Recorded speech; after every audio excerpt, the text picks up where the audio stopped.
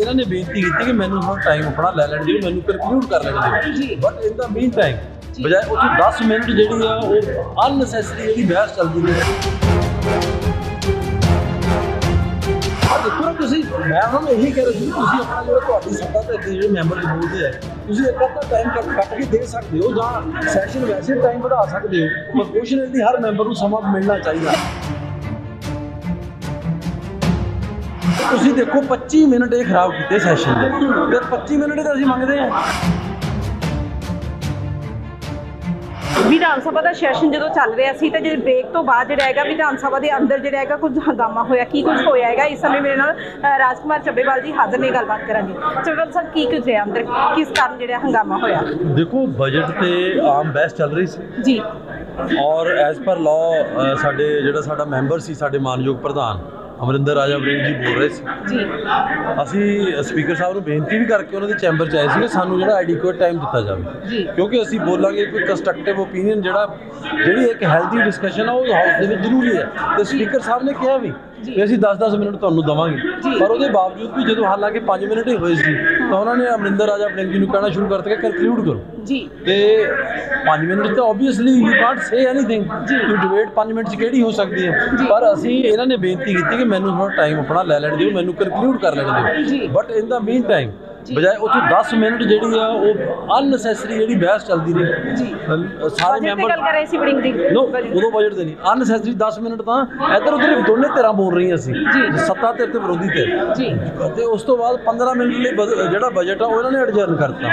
ਤੇ ਤੁਸੀਂ ਦੇਖੋ 25 ਮਿੰਟ ਇਹ ਖਰਾਬ ਕੀਤੇ ਸੈਸ਼ਨ ਦੇ। ਤੇ 25 ਮਿੰਟ ਤਾਂ ਅਸੀਂ ਮੰਗਦੇ ਆ। ਅਸੀਂ ਕਹਿੰਦੇ 5-5 ਮਿੰਟ ਹੋਰ ਦੇ ਦਿਓ ਤੇ ਮੈਂ ਕਹਿੰਦਾ ਵੀ ਇਸ ਦੇ ਵਿੱਚ ਇਹਨੂੰ ਪ੍ਰੈਸਟੀਜ ਇਸ਼ੂ ਬਣਾਉਣ ਦੀ ਜ਼ਰੂਰਤ ਕੀ ਹੈ ਸੋ ਇਸ ਕਰਕੇ ਇਹ ਜੋ ਇਸ ਇਨ ਦਾ ਮੇਨ ਟਾਈਮ ਸਪੀਕਰ ਨੇ ਸਾਰਿਆਂ ਨੂੰ ਨੇਮ ਕਰਤਾ ਕਾਂਗਰਸ ਦੇ ਜਿੰਨੇ ਵੀ ਮੈਂਬਰਸ ਨੇ। ਸਵਾਏ ਸੰਦੀਪ ਜਾਖੜ ਦੇ ਕਿ ਸਾਰਿਆਂ ਨੂੰ ਬਾਹਰ ਕੱਢੋ। ਤੇ ਸਾਰੇ ਬਾਹਰ ਜਾਣ। ਤੇ ਅਸੀਂ ਉਸ ਦੇ ਤਹਿਤ ਹੀ ਬਾਹਰ ਆਏ ਹਾਂ। ਸਪੀਕਰ ਨਾਲ ਅਸੀਂ ਗੱਲ ਵੀ ਕੀਤੀ ਆ। ਹੁਣ ਦੇਖਦੇ ਹਾਂ ਕਿ ਸਪੀਕਰ ਸਾਹਿਬ ਦਾ ਕੀ ਫੈਸਲਾ ਹੋਊਗਾ। ਜੀ। ਅਹ ਜਦੋਂ ਇਹ ਬ੍ਰੇਕ ਹੋਈ ਹੈਗੀ ਲੰਚ ਬ੍ਰੇਕ ਹੋਈ ਹੈ ਲੰਚ ਬ੍ਰੇਕ ਤੋਂ ਪਹਿਲਾਂ ਪ੍ਰਿੰਸੀਪਲ ਬੁੱਧਰਾਮ ਜੀ ਬੋਲ ਕੇ ਗਏ ਜੀ। ਨੇ ਉਹਨਾਂ ਨੇ ਜਿਹੜਾ 28 ਮਿੰਟ 29 ਮਿੰਟ ਲਗਾਤਾਰ ਬੋਲੇ ਨੇ। ਆ ਦੇਖੋ ਨਾ ਤੁਸੀਂ ਮੈਂ ਉਹਨਾਂ ਨੂੰ ਇਹੀ ਕਹਿ ਰਿਹਾ ਸੀ ਕਿ ਤੁਸੀਂ ਆਪਣਾ ਜਿਹੜਾ ਤੁਹਾਡੀ ਸੱਤਾ ਧਿਰ ਦੇ ਜਿਹੜੇ ਮੈਂਬਰ ਜੀ ਬੋਲਦੇ ਆ ਤੁਸੀਂ ਇੱਕ ਅੱਧਾ ਟਾਈਮ ਕੱਟ ਕੇ ਦੇ ਸਕਦੇ ਹੋ ਜਾਂ ਸੈਸ਼ਨ ਵੈਸੇ ਟਾਈਮ ਵਧਾ ਸਕਦੇ ਹੋ। ਪ੍ਰੋਪੋਰਸ਼ਨਲੀ ਹਰ ਮੈਂਬਰ ਨੂੰ ਸਮਾਂ ਮਿਲਣਾ ਚਾਹੀਦਾ ਕਿਉਂਕਿ ਸਾਡਾ ਸੰਵਿਧਾਨਿਕ ਹੱਕ ਆ। ਜੀ ਜਦੋਂ ਬੋਲ ਰਹੇ ਸੀ ਬ੍ਰਿੰਗ ਸਾਹਿਬ ਤਾਂ ਮੁੱਦਾ ਕੀ ਸੀ? ਕਿਹੜੇ ਟੌਪਿਕ ਤੇ ਗੱਲ ਕਰਨੀ ਮੁੱਦਾ ਤਾਂ ਜਨਰਲ ਜਨਰਲ ਬਜਟ ਤੇ ਬਹਿਸ ਸੀ ਕੋਈ ਕੰਟਰੋਵਰਸੀ ਦਾ ਮੁੱਦਾ ਨਹੀਂ ਸੀ। ਹੀ ਜਸਟ ਸੈਟ ਕਿ ਆਪਣਾ ਤੁਹਾਡਾ ਟਾਈਮ ਜਿਹੜਾ ਇਸ ਓਵਰ ਕੰਕਲੂਡ ਕਰੋ ਖਤਮ ਕਰੋ।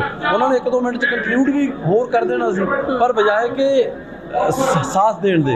ਉਲਟਾ ਇਹ ਹੋਇਆ ਵੀ 25 30 ਮਿੰਟ ਜਿਹੜਾ ਹੁਣ ਆ ਵੀ ਸਮਾਂ ਖਰਾਬ ਕੀਤਾ ਜਾ ਰਿਹਾ ਅਨਸਰ ਤੁਹਾਡੇ ਐਮਐਲਏ ਹੁਣ ਕੁਝ ਅੰਦਰ ਹੈਗੇ ਨੇ? ਨਹੀਂ ਸਾਡਾ ਕੋਈ ਐਮਐਲਏ ਵੇਲੇ ਸਾਰੇ ਜਣੇ ਆ ਗਏ ਨੇ? ਐਮ- ਸਾਰੇ ਐਵਰੀਬਡੀ ਜੀ ਅਮਰਿੰਦਰ ਸਿੰਘ ਰਾਜਾ ਸਿੰਘ ਜਿਹੜੇ ਕਿ ਕਾਂਗਰਸ ਦੇ ਪ੍ਰਧਾਨ ਨੇ ਲਗਾਤਾਰ ਆਪਣੀ ਗੱਲ ਰੱਖ ਰਹੇ ਸੀ ਗੱਲ ਕਰ ਰਹੇ ਸੀ ਬਜਟ ਸੈਸ਼ਨ ਦੇ ਉੱਤੇ ਗੱਲਬਾਤ ਹੋ ਰਹੀ ਸੀ।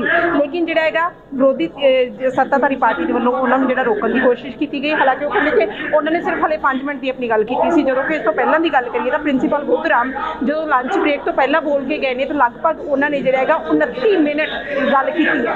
ਸਪੀਕਰ ਸਾਹਿਬ ਨੂੰ ਉਹਨਾਂ ਦੇ ਵੱਲੋਂ ਕਿਹਾ ਗਿਆ ਸੀ, ਕਾਂਗਰਸ ਪਾਰਟੀ ਦੇ ਆਗੂਆਂ ਦੇ ਵੱਲੋਂ ਘੱਟੋ ਘੱਟ ਹਰ ਇੱਕ ਨੂੰ ਜਿਹੜਾ ਹੈਗਾ 10 ਮਿੰਟ 10 ਮਿੰਟ ਦਾ ਜਿਹੜਾ ਸਮਾਂ ਦਿੱਤਾ ਜਾਵੇ, ਲੇਕਿਨ ਅਜਿਹਾ ਨਹੀਂ ਹੋਇਆ ਤੇ ਉਸ ਤੋਂ ਬਾਅਦ ਕਾਂਗਰਸ ਪਾਰਟੀ ਦੇ ਆਗੂਆਂ ਦੇ ਵੱਲੋਂ ਹੰਗਾਮਾ ਕਰਦੇ ਹੋਏ ਬਾਹਰ ਆ ਗਏ ਨੇ। ਹੁਣ ਕੀ ਹੁੰਦਾ ਹੈ, ਦੇਖਣਾ, ਲਾਜ਼ਮੀ ਹੋਏਗਾ ਕੈਮਰਾਮੈਨ ਰਿਸ਼ਿੰਦਰ ਦੇ ਨਾਮ ਮੈਂ ਹਰਦੀਪ ਕੌਰ ਵਿਰਕ ਚੜ੍ਹਦੀ ਕਲਾ ਟਾਈਮ ਟੀਵੀ ਦੇ ਲਈ ਚੰਡੀਗੜ੍ਹ ਵਿਧਾਨ ਸਭਾ।